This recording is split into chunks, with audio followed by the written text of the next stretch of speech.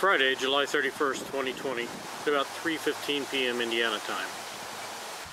Recently bought a Cyber Power PC, gaming PC from Best Buy, bought it online, bestbuy.com.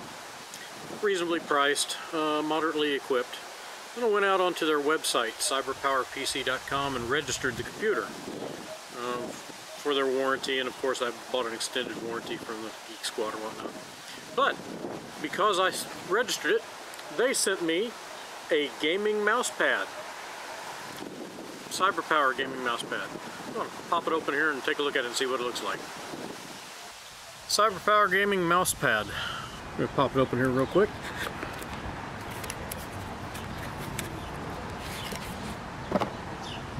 Ooh, nice feel.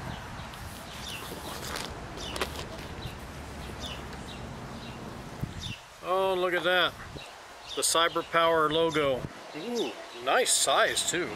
Uh, looks like maybe about a 12 by 12 inch. Um, really, really nice. Smooth, uh, smooth fabric covering. Grippy rubber part.